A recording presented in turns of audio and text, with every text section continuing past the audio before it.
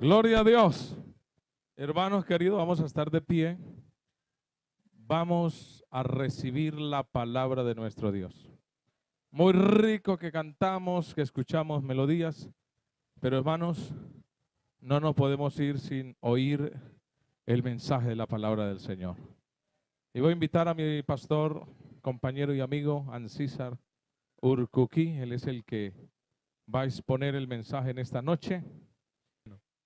Gloria a Dios. Así que mis amados, vamos a orar para escuchar la palabra del Señor y oremos por este siervo que Dios va a usar en esta noche de manera especial. Señor Jesús de Nazaret, Dios Todopoderoso. En este momento, Señor, invocamos tu nombre, que es sobre todo nombre. Te pedimos, Señor, que uses de manera especial, Señor, a mi hermano Ancísar Urcuqui. Úsalo como siempre lo sabes usar, Señor. Que Él pueda predicar tu palabra con autoridad y que podamos gozarnos, Señor, y aprender de ti. En el nombre de Jesucristo de Nazaret. Amén y amén. Hermano Ancísar, predique la palabra de Dios. Aleluya. Démosle la gloria a nuestro Dios. Démosle otra alabanza. ¿Cuántos están alegres en esta noche? Bueno, hay motivos para estar contentos porque estamos en la presencia del más grande. Estamos en la presencia del soberano y tiene nombre propio y se llama Jesús de Nazaret. Gloria al nombre del Señor Jesucristo. Bien, en este momento yo le agradezco primeramente a nuestro Dios por la oportunidad que me regala de poder estar en Sucre. Un saludo muy especial para todos ellos en el nombre del Señor. También saludo especial para nuestro hermano Brandon y nuestro hermano Jonathan. Gloria al Señor, qué bendición tenerles por acá en este municipio de Sucre. Alabanzas al Señor. Saludo especial también a los amigos que nos acompañan en esta noche de diferentes lugares. Son bienvenidos en el nombre del Señor. Queremos decirles que han escogido la mejor parte en esta noche a los amigos que están aquí. De verdad que estar en la presencia de Dios es lo más importante. A toda la familia que tengo acá en este municipio, un saludo muy especial a mi hermana María y bueno, a toda la familia.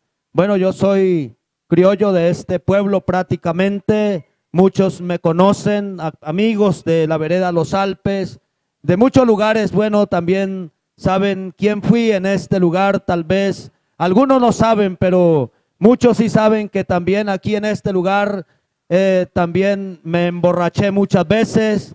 También estuve tirado por ahí borracho muchas veces porque la verdad es que cuando todavía no conocía de este Cristo glorioso, estaba totalmente perdido. Pero hoy puedo decir a Dios por su misericordia y porque ha sido bueno para conmigo y no solamente para conmigo, sino para con mi familia. Así que saludo a todos los que están aquí. Por ahí veo al tío Marino, un saludo especial para él, bueno, y a toda la familia y a los amigos que están por aquí. Bien, quiero leer una porción de la palabra del Señor. En el Evangelio según San Juan capítulo 10 tomaremos una porción de la palabra en esta noche. Así que en tanto que usted encuentra allí, también quiero saludar a los músicos del Cabullo, a Grupo Radical, allí en cabeza de mi hermano Wilfredo. López, saludo especial para él y aquí a nuestro hermano Junior. Gloria al Señor Jesucristo. Él nos acompaña desde Santander, de Quirichado. Gloria al Señor Jesucristo. Bueno, así que a todos, a todos, saludo muy especial. El Evangelio según San Juan, capítulo 10. Gloria al nombre del Señor Jesucristo. Allí vamos a tomar la poderosa palabra en esta noche ya que Dios nos regala esta oportunidad. Y leeremos también en el verso 10 el siguiente versículo que dice de la siguiente manera, el ladrón no viene sino para hurtar y matar y destruir. Yo he venido para que tengan vida y para que la tengan en abundancia. Y dice el verso 11, yo soy el buen pastor y el buen pastor da su vida por las ovejas. Gloria al nombre del Señor. Démosle alabanzas a nuestro Dios. Bien, los hermanos que puedan sentarse, pueden hacerlo en esta noche para la honra y la gloria del Señor Jesucristo. Así que voy a predicar, bueno, por aquí hay un lema, el valor de un alma. Gloria al nombre del Señor Jesucristo. Pues es bien sabido que teníamos un predicador invitado y gracias a Dios que está aquí. Pero bueno, no esperaba esta parte, pero Dios es bueno y es maravilloso que sabe bendecirnos. Gloria al Señor Jesucristo. Sabe, saber que predicar la palabra de nuestro Dios es algo muy grande para un ser humano. Quisiera decirle, amigo, en esta noche, eh, el que no sabe o no entiende qué significa predicar, verdaderamente lo tomaría por algo sencillo y por algo tal vez normal. Y alguien que está allí en el montón podría decir en esta noche, yo también puedo hacerlo. Pero yo quiero decirle que esto no es bajo la voluntad del ser humano, sino bajo la voluntad del soberano. Y cuando el soberano se digna en enviar la palabra y él quiere usar a alguien para hablarle a la gente, al pueblo o a una alma porque le ama con amor eterno, entonces él hace lo que tiene que hacer por encima de todo lo que se oponga. Alabanzas al nombre del Señor. Así que, bueno, me ha tocado esta parte y estoy muy agradecido con Dios. He leído esta porción de la palabra para iniciar diciendo que la verdad es que, como ya miramos en esta noche a nuestro alrededor de donde estamos prácticamente, podríamos decir que la verdad hay muchas personas que no están interesadas en oír este mensaje. Tal vez algunos porque no se han dado por entendidos, algo otros porque tal vez están cegados en esta noche. Y quiero decirle algo en esta noche, amigo, este mundo que estamos viviendo está que estalla en una burbuja de crisis social. Y cuando hablamos de esto, el mundo está en decadencia cada día. Y precisamente cada día el mundo va en decadencia a causa de la inmoralidad por la cual el hombre vive. Porque el hombre cada día va sumergido, cada día va sumergido en lo que se conoce como el pecado que destruye al ser humano.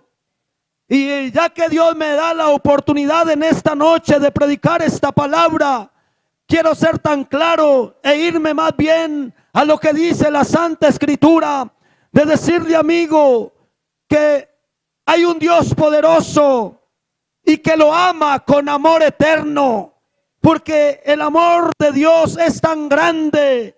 Alabanzas al Señor y podríamos decir en esta noche, aunque estamos alrededor nuestro, escuchamos diferentes de pronto alabanzas que no son para Dios y podríamos llamarla de esa manera, porque realmente el hombre está perdido y el hombre no tiene entendimiento, no tiene conocimiento prácticamente aún de lo que está haciendo por la misma maldad que hay.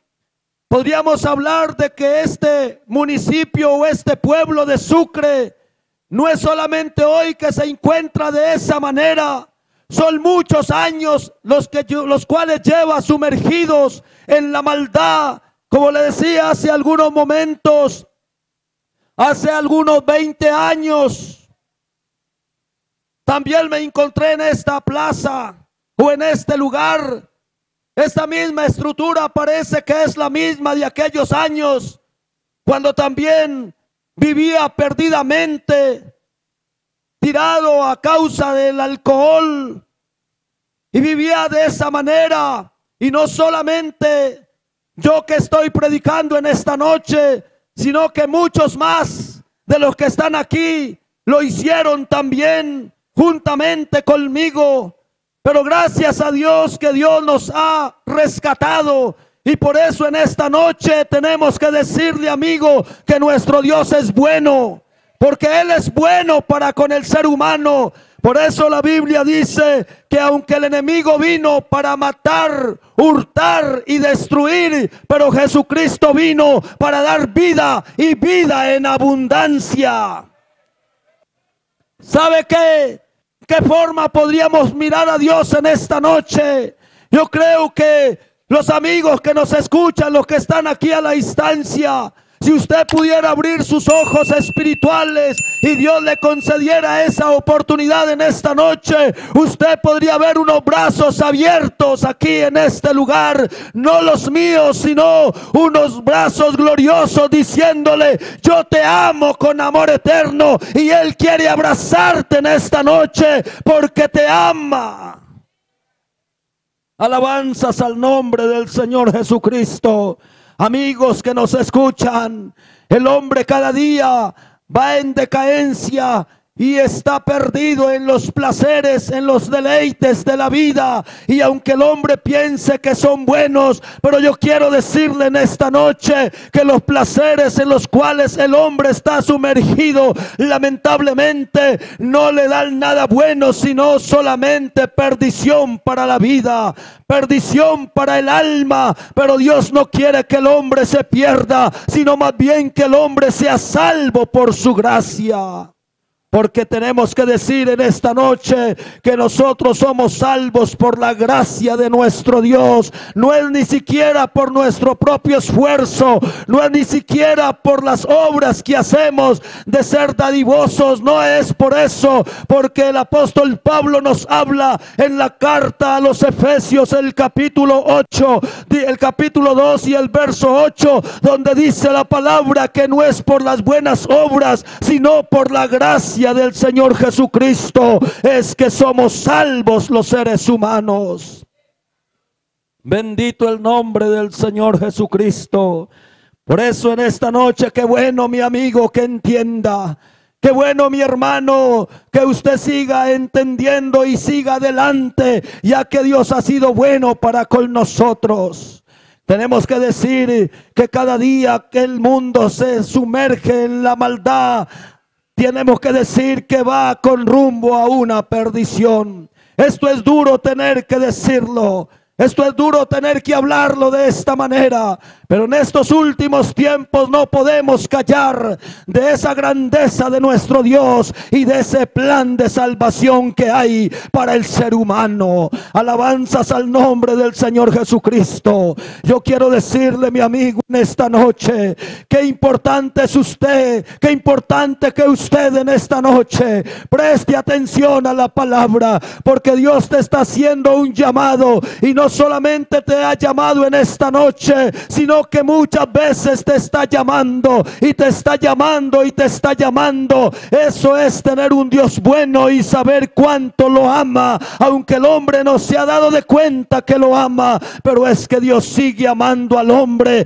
y sabe hasta cuándo se puede encontrar ese amor de Dios. Yo digo que será hasta el día que Él arrebate esta iglesia. Hasta ese día se reflejará y se mirará ese gran amor de Dios para con la raza humana. Y no importa que el hombre hoy no crea, pero yo quiero decirle que hasta ese día Dios tendrá sus brazos extendidos, brindándole una oportunidad al ser humano para que el hombre venga a su presencia. Porque sabe una cosa, desde el primer, desde el momento que el hombre o el primer hombre falló delante de Dios, dice la Biblia que Dios empezó a hacerle un llamado. Cuando miramos la Santa Escritura en el libro de Génesis capítulo 3 y en el verso 9, dice la Biblia que Dios había hecho al hombre y le había dado mandamientos al hombre, pero dice la Biblia que el hombre había desobedecido y la desobediencia había hecho que el hombre se encontrara desnudo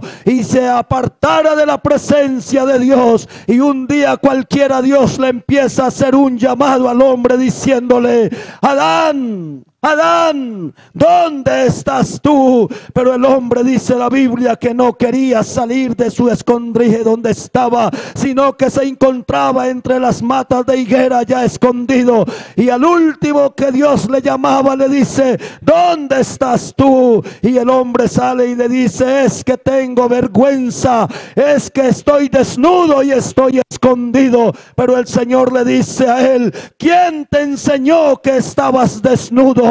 Y sabe una cosa, hasta hoy el Señor sigue llamando al hombre, le sigue haciendo ese llamado por doquiera que el hombre vaya, Dios le sigue llamando, le sigue invitando y le dice al hombre, ¿dónde estás tú? ¿Cuál es tu paradero? ¿Qué haces por tu vida, por tu alma, por tu salvación?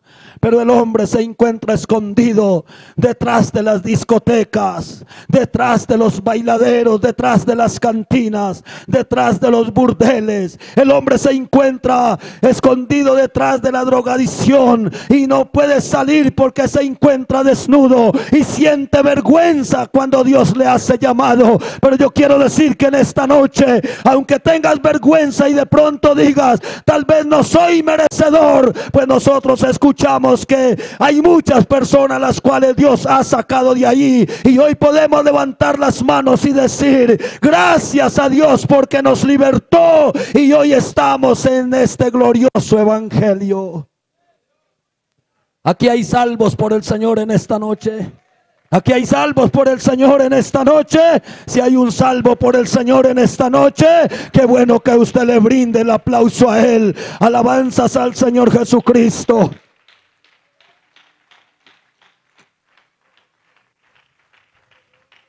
Amigo, hace algunos momentos escuchábamos a nuestro pastor que hace ocho días la gente por aquí estaba en este lugar también. Óigase bien, rindiéndole un culto a un Dios que no salva, rindiéndole culto al Dios que no tiene poder para salvar. Y uno se sorprende en este tiempo, hermanos, con los rescatados por Jesucristo. Porque es el tiempo de nosotros adorarlo a Él. Alabanzas al Señor. Si nosotros vamos a la palabra, encontramos, hermanos, que Dios, por si fuera por Él mismo, tal vez no necesitaría de la adoración de nosotros, porque Él hizo una estructura de ángeles para alabanza de su gloria. Pero sabe una cosa, la Biblia dice que el Señor le plació más bien a ser un hombre del polvo de la tierra y de ese hombre que formó del polvo de la tierra recibir la alabanza y la adoración. Por eso que cuando nosotros entendemos dónde nos encontramos, dónde estábamos, en dónde estamos y sabemos para dónde vamos y a quién adoramos, nosotros no importa el tiempo, no importa si es calor, no importa si es frío, no importa el el clima para nosotros. No importa si es lluvia, no importa eso. A nosotros los que nos interesa y debe interesarnos es en adorarlo a Él porque Él es el único merecedor de la alabanza, de la honra, de la gloria por los siglos de los siglos. Aleluya. Estábamos perdidos y ahora fuimos llamados para qué? Para anunciar, dice la Biblia en la carta del apóstol Pedro, las virtudes de aquel que nos llamó de las tinieblas a su luz admirable. Alabanzas al Señor Jesucristo. Los que estábamos perdidos allá, sumergidos en el alcohol, en el vicio. Algunos de pronto en algunas ocasiones fuimos privados de la libertad. En una ocasión estuve privado de la libertad tras de unas rejas y me habían sentenciado una cantidad de años, tal vez los mismos hechos y las mismas maldades que había cometido, tal vez fueron causantes de meterme tras unas rejas. Y cuando fui metido allá tras las rejas, yo pensaba que iba a salir rápido. Yo pensaba que eso era fácil. Pero recuerdo que cuando ya estaba tras las rejas, oí una voz que me dijo, usted de aquí no va a salir, usted de aquí sale pero muerto. Y entonces fue como que sentí una erizada en mi cuerpo, miré por toda parte y no miraba a nadie. Hoy puedo decir que tal vez fue la voz del enemigo, porque ya de pronto sabía que Dios tenía propósitos, porque hace muchos años atrás, hermanos, una vez por aquí estaba borracho y andaba con un personaje que de pronto muchos conocieron, tomando aquí en este lugar y en un momento un problema aquí en este lugar. Recuerdo que salimos corriendo hacia abajo. La iglesia no era allá arriba, sino que el salón de predicación era por ahí en una esquina. Y recuerdo que nos metimos ahí, estaba la puerta abierta y nos metimos ahí. Alguien dijo bienvenidos, pero íbamos borrachos, íbamos con tragos y nos sentamos allí. Y alguien decía, eh, sigan más acá, pero yo le dije, no, nosotros no podemos meternos más allá porque estamos huyendo de un problema. Y la persona que iba conmigo sacó el fierro y se paró a la puerta y miraba y observaba para arriba y para abajo. dijo, vámonos de aquí porque eso es peligroso. Y de pronto mientras pensábamos salir, escuchamos que alguien dijo allá adentro, no recuerdo, no recuerdo bien. Y aquí está la persona, si fue la voz de ella, parece que fue la hermana Marcelina. Tal vez ella no se recuerda de mí, pero yo recuerdo ese día que estaban sentados allí. Dijo, hay poder en Jesús. Lo que podemos decirles es que Jesucristo los ama y los quiere salvar. Amigo, y esas palabras tal vez se quedaron muy, por muchos años cundidas en mi mente. Alabanzas al Señor. Y por eso quiero decirles a los amigos, el amor de Dios es grande. A mi familia quiero decirles, el amor de Dios es grande. No se queden solamente escuchando la palabra, sino que procedan a dar un paso al arrepentimiento. Aparte de que el tiempo se está acabando, estamos hablando de últimos días. El mundo ha convulsionado de una manera sagaz. Hoy a todo se le celebra y a todo se le hace conmemoración, pero a lo que se le quiere quitar realmente la vida es al culto de nuestro Dios, para las cosas de afuera, para la libertad de todo el pecado. Para eso hay oportunidad, para eso hay propaganda, hermanos y amigos, pero para el culto no hay tanta libertad. Yo creo que es importante entender eso. ¿Y sabe por qué sucede esto? Es porque esta iglesia, hermanos, que ha sido llamada para ser salva y por causa de este evangelio glorioso que tiene que cumplirse al pie de la letra, es que este mundo va de esa manera. Pero qué bueno con los entendidos que están en esta noche, saber que Dios les ha hablado y los ha llamado a buen tiempo para que tengan vida y para que la tengan en abundancia. Alabanzas al Señor Jesucristo. Yo hace algunos momentos, hermano Carlos, estaba analizando un versículo de la palabra que el Señor le hace reconocimiento al pastor, diciendo yo reconozco tu obra y tu trabajo y la fe que no has perdido.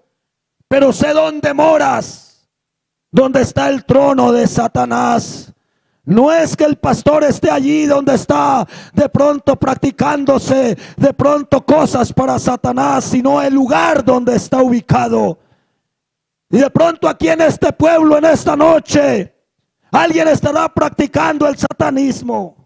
Alguien puede estar practicando la brujería en alguna parte de este lugar. Eso no es desconocido. Eso puede ser posible. Y de pronto por eso es que hemos venido sintiendo como una pesadez. El cantante se ha esforzado para cantar. El predicador tal vez se esfuerza para predicar.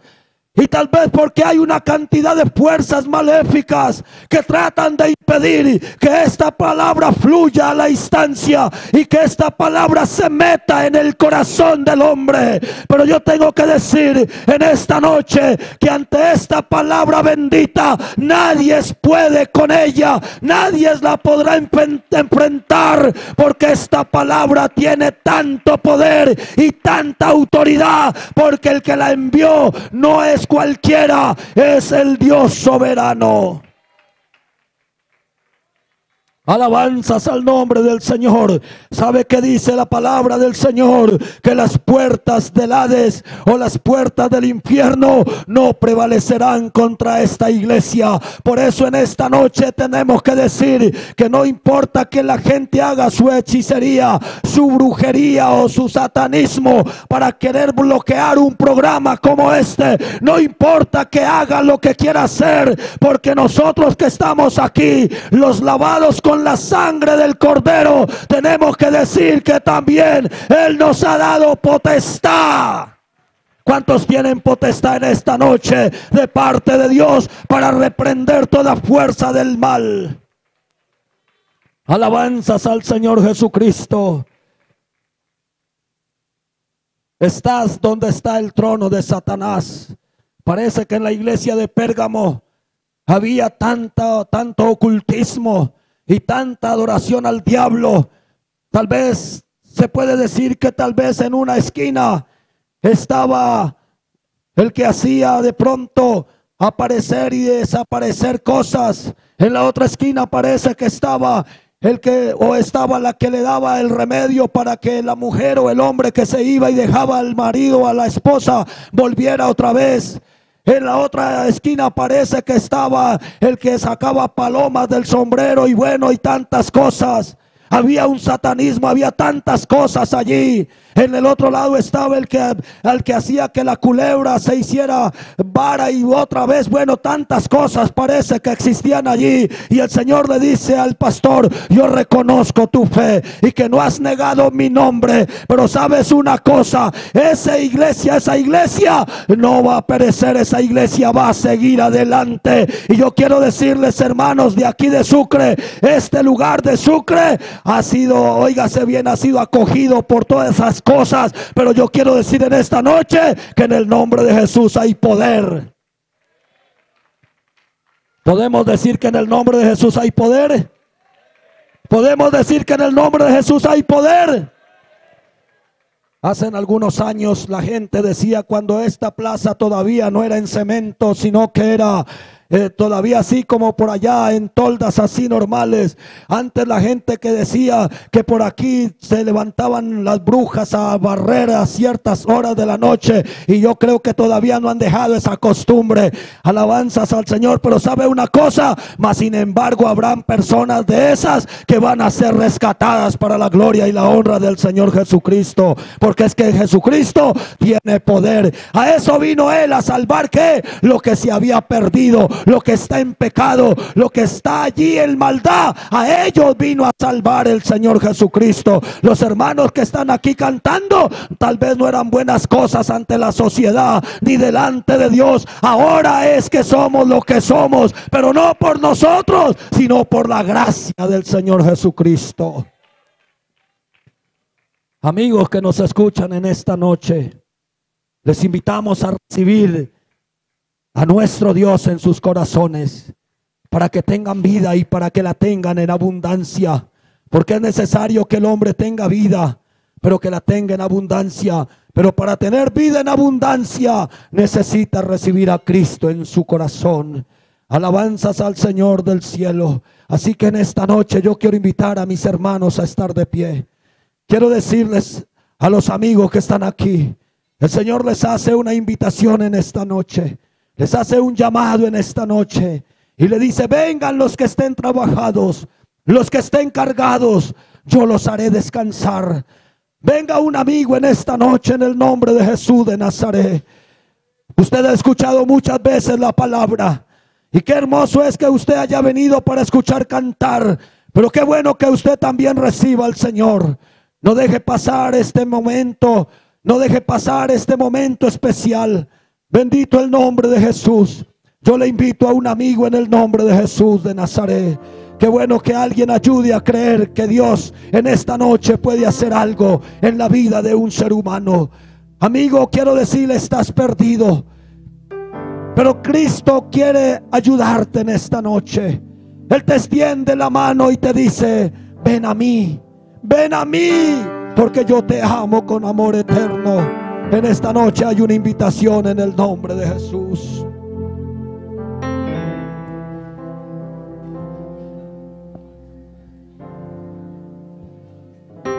Cierre sus ojos, hermanos, y vamos a darle gracias al Rey por esta palabra gloriosa. Señor, te damos gracias. Gracias, Señor, por esta palabra. Y ponemos de testigos el cielo y la tierra de que una vez más se anunció esta palabra, Señor, en este lugar. Trata con cada persona que ha oído, Señor. Trata con ellos, Jesús. Para ti nada es imposible, Señor. Oh Padre Celestial,